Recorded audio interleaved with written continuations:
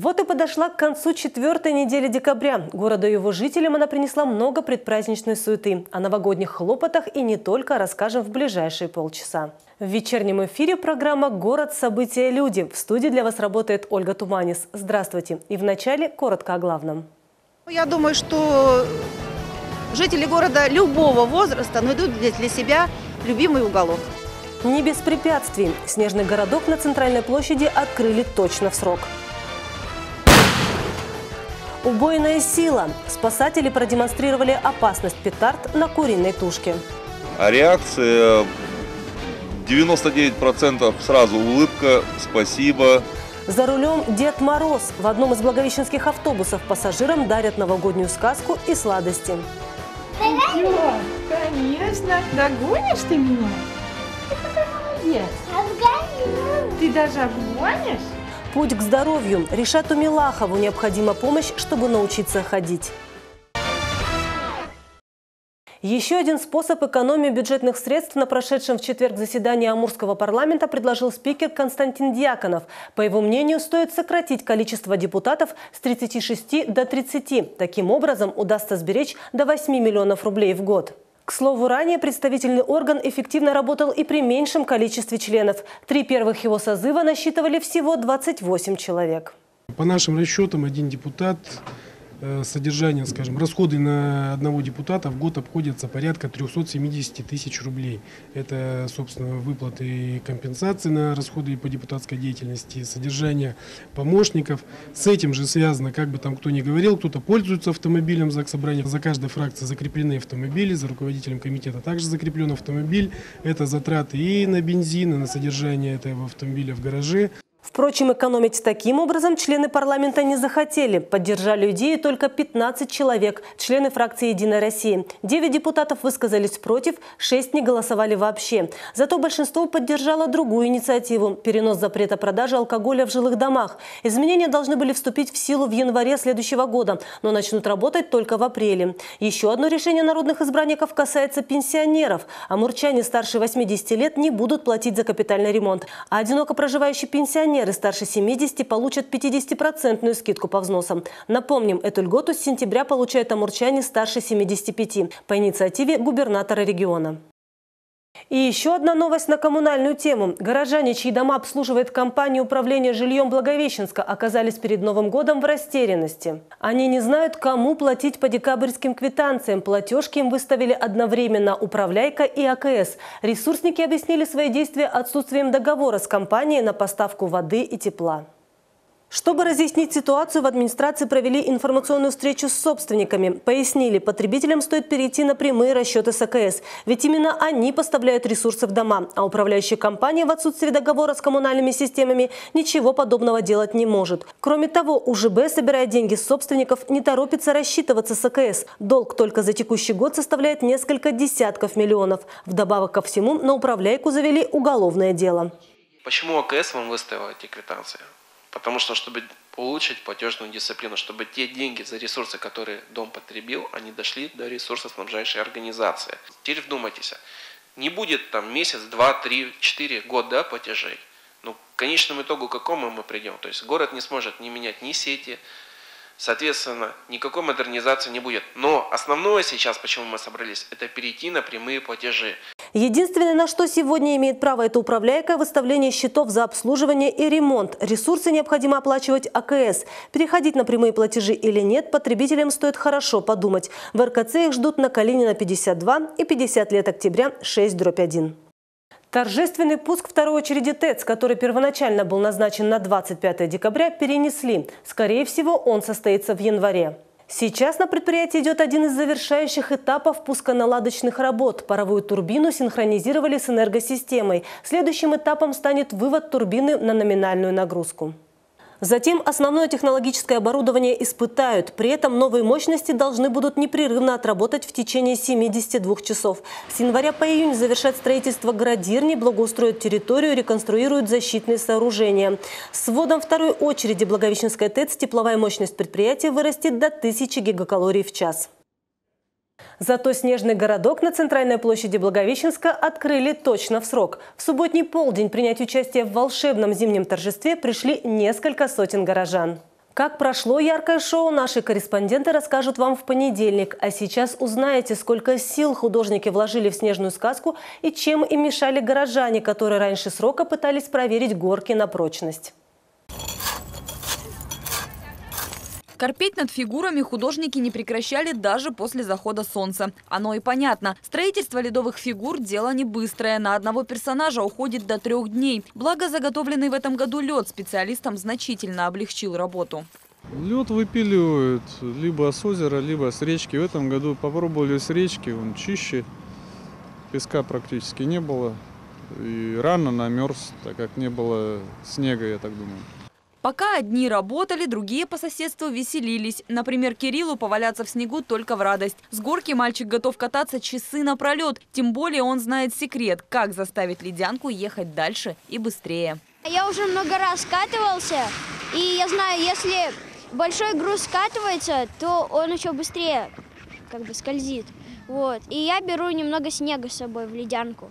Такая популярность городка его создателям, конечно, приятна, но уж очень мешала. Гости не давали работать крупной технике и до срока изнашивали недоделанные горки. Черновой лед на них местами протерся до дерева, где-то образовались ямки. Кататься по таким небезопасно. Это отметили и в ходе проверки работ, которую на месте провела мэр Благовещенска Валентина Калита. Там же специалисты поделились еще одной сложностью, которая заставила художников повозиться со снежными фигурами.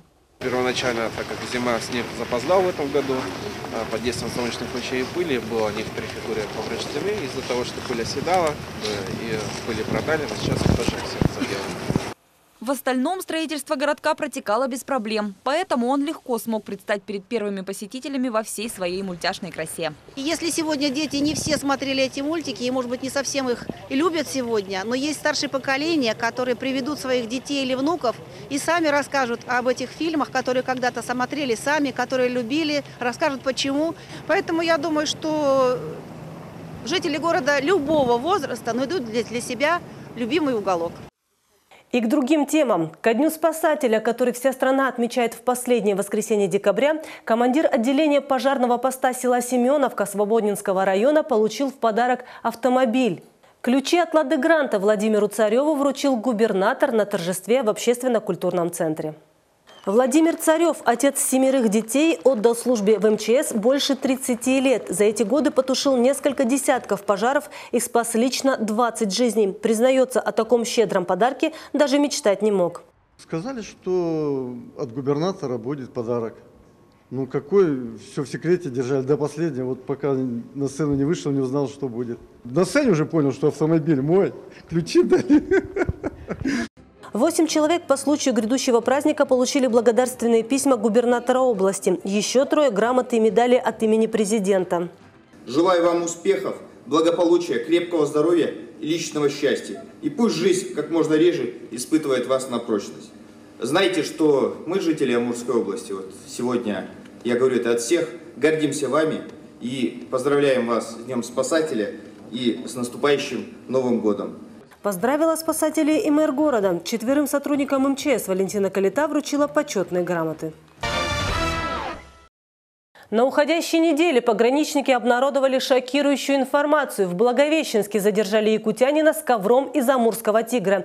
Изделие из редкого краснокнижного животного 35-летний мужчина перевозил в своем БМВ. Теперь ему может грозить до четырех лет лишения свободы. Доследованием дела займется прокуратура. Видео задержания уже в эфире.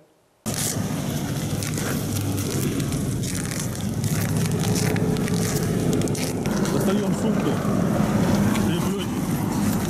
Пожалуйста, своими руками догонили. Пожалуйста, откройте сумку. Да, открыл. Открывайте, что такое. Нет, сейчас здесь что разворачивать? Ковер из тигра, так скажем. Готовый ковер, многолетний. Целиком давайте посмотрим и потом уберем, мы вам поможем. Не Да? переживайте, Вот. да. Ну, целиком цельный ковер. Целиком, цельный ковер. Разворачивайте, разворачивайте, пожалуйста. Помогайте.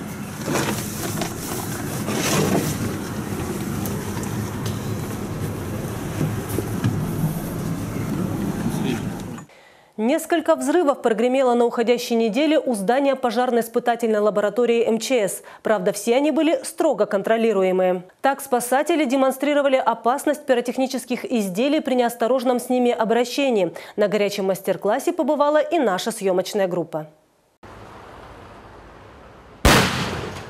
Куриная тушка, ставшая сегодня подопытной на демонстрацию убойной силы пиротехники, после соседства со сработавшей 10-сантиметровой петардой превратилась в фарш. Ее части разлетелись по территории практически со скоростью света. Минимальное безопасное расстояние от только что взорвавшейся петарды по инструкции 5 метров. На деле зона поражения достигает 20. Поэтому очевидно, что любителям взрывоопасного драйва стоит несколько раз подумать, следует ли так рисковать ради секундного веселья. Ударную силу взрыва наглядно демонстрирует и состояние стула, на котором проводился эксперимент. Крышка стула выполнена из доски толщиной 3 сантиметра. В итоге крышка разрушена. Впрочем, взрыв, который мы показали в начале сюжета, спасатели продемонстрировали уже в финале. До этого на тушке испытали действие более мелких петард. Они тоже не прошли бесследно. Одна хорошо подпалила кожу, другая и вовсе оторвала крыло. Легко представить, что случится с человеком, если такая сработает в руке. В случае же, когда тяга к спецэффектам превышает разумный страх, специалисты советуют строго соблюдать технику безопасности. Отходите от зданий, от гаражей автомобилей на безопасное расстояние. Чем больше петард, тем и расстояние больше. Поэтому желательно уходить на открытые территории территории площадки и не использовать их в маленьких, узких и закрытых дворах. Но если петарды люди чаще всего используют все же на улице, то бенгальские огни беззаботно зажигают дома. Бенгальский огонь, да? Как вот бытует мнение, самый безопасный пиротехнический продукт. Дают детям, дают всем, крутят дома, за столом сидят. Продемонстрирую опасность бенгальского огня. Раскаленный стержень с красивыми искрами за секунду зажигает скатерть, шторы или мебельный наполнитель. Справиться с таким бедствием в миниатюре спасателям помог огнетушитель. Вряд ли такой найдется у каждого в квартире. Поэтому, чтобы праздники не закончились трагедией, пиротехнику в дом не берите. А еще лучше оставить это дело профессионалам и насладиться фейерверком на центральной площади. И красиво, и безопасно. Свое исследование в четверг провели и специалисты Россельхознадзора. Не столь эффектное, но тоже напрямую касающееся здоровья амурчан. Они отправились в магазин с целью оценить качество круп, представленных на витринах. Основания беспокоиться у них есть. В этом году они выявили более 30 нарушений регламента Таможенного союза о безопасности зерна. А в одном из районов Приамурья специалисты изъяли крупную партию перловки с истекшим сроком годности, которую предприниматель готовил к реализации. На что следует обращать внимание при покупке пшена или гречки и как подольше сохранить зерно? Ответы в сюжете. Вот как раз у нас рис вот из Таиланда пропаренный. Таиланде, мы знаем, не существует зимы, и поэтому там благоприятные условия для развития различных вредителей хлебных запасов. И хотя проверку такая крупа проходит еще на таможне, в магазин старший инспектор Россельхознадзора Оксана Ионова без лупы не ходит. Выискивает не только следы вредителей и плесени, но и другие дефекты продуктов. Что касается овсяных хлопьев «Геркулес», Опасность в них может представлять содержание цветочных пленок повышенное. Они с острыми краями, как правило, и такую, такая крупа подвергается браковке.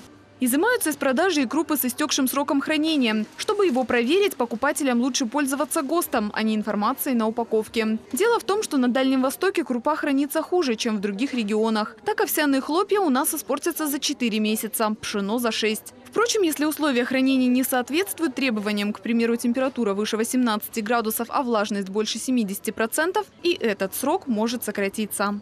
У нас был несколько лет назад такой случай, что человек купил где-то на улице рисовую крупу, которая хранилась вот на солнце. Сварили, покушали, попали с ребенком в инфекционку.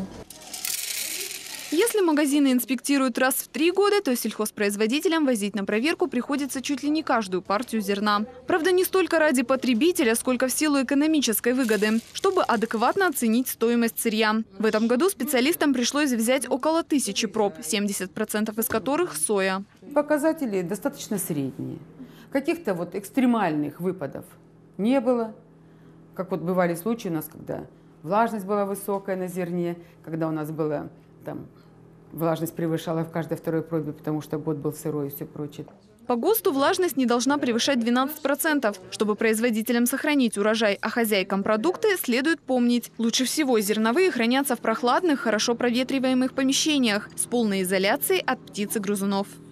Чем еще отметилась уходящая неделя, расскажем прямо сейчас. В эфире наша постоянная рубрика «События день за днем». В начале недели администрация продлила голосование за лучший слоган к 160-летию Благовещенска. До 1 февраля горожанам предстоит сделать выбор на электронной площадке «Активный гражданин». Благовещенский судостроительный завод поучаствует в федеральной программе по импортозамещению. Это стало известно по итогам заседания правительственной комиссии во Владивостоке. В ее состав вошел губернатор Преамурья Александр Козлов. Во вторник горожанам предложили оборудовать пункт проката общественных велосипедов прямо у себя во дворе. Чтобы попасть в число 100 стоянок, которые планируют установить до следующего лета, необходимо подать заявку в администрацию до 15 февраля. В столице Приамурья состоялась губернаторская елка для детей, оставшихся без попечения родителей. На ней праздник отметили около сотни ребят из детских домов Благовещенска и Свободного. Среду украсили маленькие художественные гимнастки. Они поборолись за призы Деда Мороза и Снегурочки. Чудеса гибкости продемонстрировали 130 девочек от 4 до 16 лет. В середине недели зимнюю сказку, созданную в детских садах Благовещенска, проверила специальная комиссия. Конкурс на лучшее оформление территории давно стал доброй традицией нашего города. В четверг 10 талантливых юных амурчан получили губернаторские стипендии. За творческие успехи им присвоили престижное звание «Лауреат» и вручили по 20 тысяч рублей. Последний рабочий день недели поздравить благовещенцев с наступающим Новым годом в столицу Приамурья прибыла китайская делегация. Теплые слова мэра соседнего города Хэйхэ за всех жителей принимала Валентина Калита. Конец недели ознаменовался и тем, что за три утренних часа из благовещенцев выкачали более 40 литров крови. На станции переливания прошел День донора. Так медики готовятся к длинным новогодним праздникам, создавая необходимый запас плазмы крови на случай ЧП. Продолжаем выпуск. С начала недели дороги областного центра бороздит Дед Мороз на тройке. Ездит сам, возит других, еще и подарки дарит. Впрочем, главный его атрибут не борода и даже не мешок со сладостями, а водительские права. Зачем волшебник сел за руль и как с ним прокатиться, узнаете прямо сейчас. Не на бравой тройке лошадей, а на маршрутке под номером 3. По Благовещенску разъезжает Сергей Цыбров. На время праздников водитель преобразился, прежде всего внешне. Управлять автобусом в новогоднем костюме нетрудно. Признается, по утрам так даже теплее. Но главное – это все же настрой, на который пассажиры всегда отвечают в многократном размере. В принципе, уже 6 лет я на тройке именно на, ну, езжу. А реакция 99% сразу улыбка, спасибо – по прошлому году даже плясали у меня в салоне. Ну, если стих, кто расскажет, возраст абсолютно не имеет значения, это будет бабушка, дедушка или ребенок, подарки вот лежат, без проблем, подходят. Небольшие презенты, шоколадки и чупа-чупсы Сергей покупает на собственные деньги. Говорит, иногда в день встречаешь столько ребятней, что в магазин приходится бегать по 2-3 раза. Рассказывать стишки в присутствии камеры пассажиры постеснялись. Однако своими впечатлениями поделились с удовольствием. Ну, честно, я зашла как бы непривычно. Водитель в стиле Деда Мороза, как бы интересно, однако. Я вообще впервые в этом автобусе. Вот, ну, в смысле, имеется в виду, сколько я здесь живу в Благовещенске, впервые, чтобы тройка была с Дед Морозом. То есть это бесплатно, это повезло, это круто. Вот. Ну, это же классно, он еще помахал Дед Мороз за автобусом. Ой, круто, короче. Проехаться по маршруту со сказочным дедушкой благовещенцы смогут до конца каникул. Так решил сам Сергей. Так что на всякий случай заготовьте стишок. Авось повезет встретить новогоднюю тройку. Поселилась новогодняя атмосфера и в Благовещенском доме ремесел. Там на уходящей неделе открылась резиденция Деда Мороза. Первыми ее посетили ребята из школы-интерната номер 8.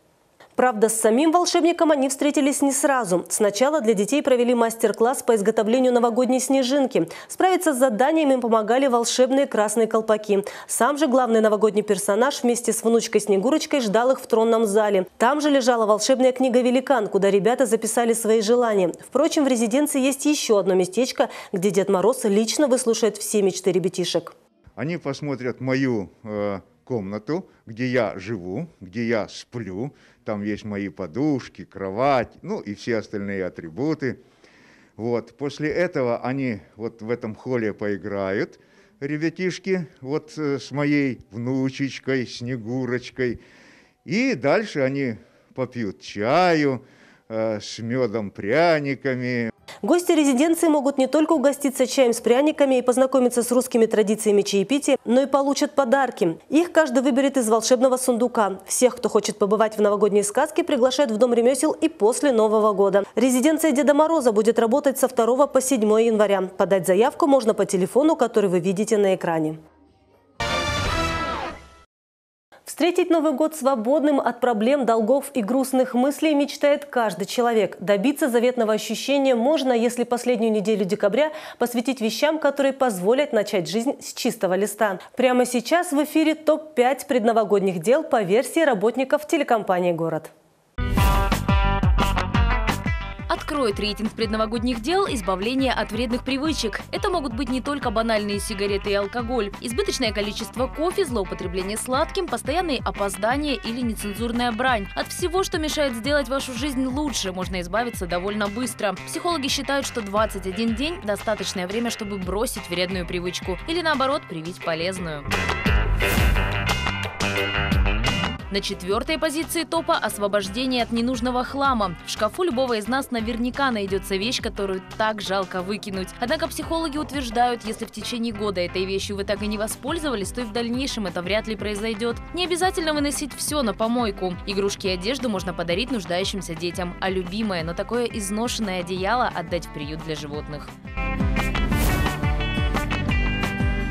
Тройку лидеров открывает дело, особенно актуальное для работающих благовещенцев. Подготовьте к предстоящему празднику свое рабочее пространство и непременно вовлеките коллег. Так совместите приятное с полезным. Облагородите офис, да и с коллегами сблизитесь. К тому же парочка новогодних гирлянд и мишура будут постоянно напоминать о предстоящих каникулах. Серебро уверенно отдаем расплате с долгами. Ведь в декабре на слуху даже у самого невнимательного благовещенца фраза «в Новый год без долгов». И это относится не только к платежам за коммунальные услуги. Постарайтесь отдать своим знакомым деньги, что заняли на днях или пару-тройку месяцев назад. Ведь с кровными все равно придется распрощаться рано или поздно. Чем Новый год не повод?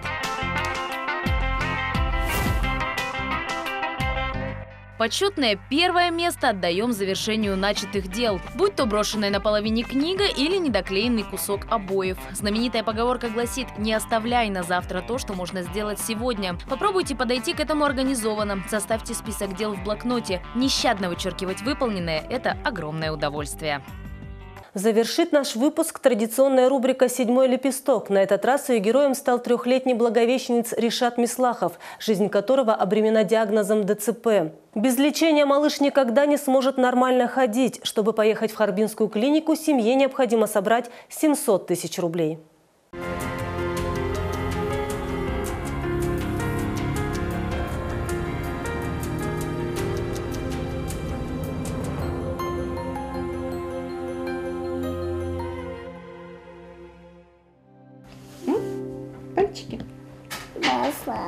Они сладкие? А почему они сладкие? Ты конфетки кушал, что ли? Да.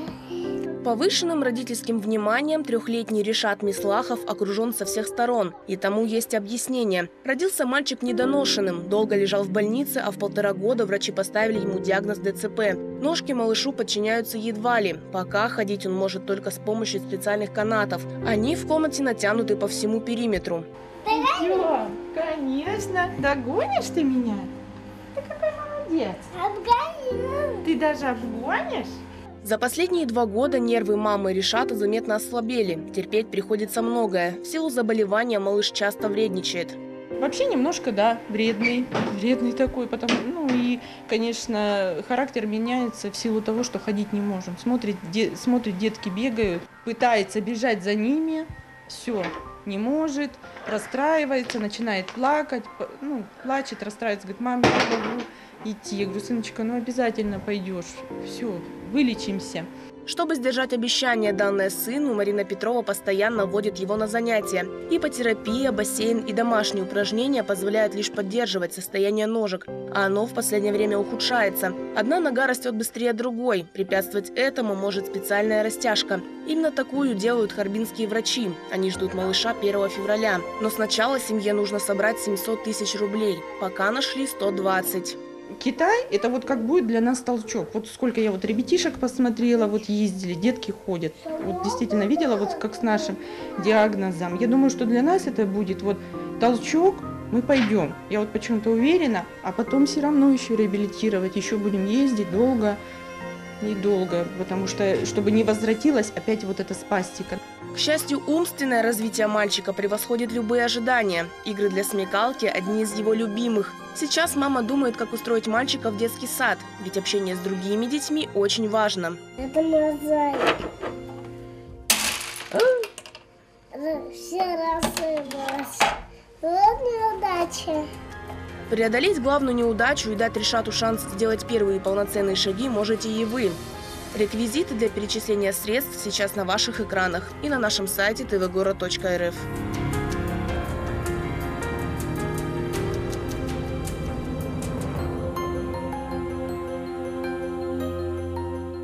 Это были наиболее заметные события минувших дней. Итоги следующей рабочей недели мы подведем уже в новом году. А обзор событий каждого дня смотрите ежевечерне в привычное время. Я с вами прощаюсь. До встречи в эфире.